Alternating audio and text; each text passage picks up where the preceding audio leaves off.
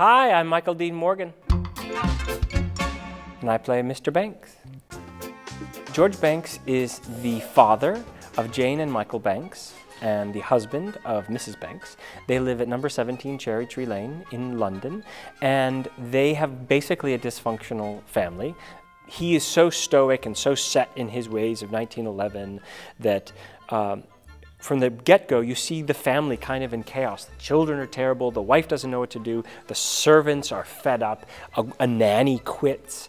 And through all that drama, we see Mary Poppins arrive. And she comes in to help them see each other anew. Uh, Mary Poppins is kind of the personification of unconditional love.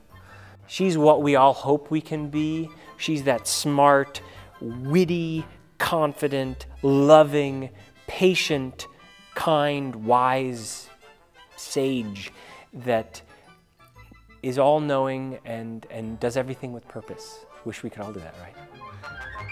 It's a lovely message about being present for the ones you love. And, and I think that's why it's so, so good, not just for kids, I think that's why it's a show almost better for the adults. Yeah, the kids will enjoy it, there's no doubt but it will mean something really special to the families.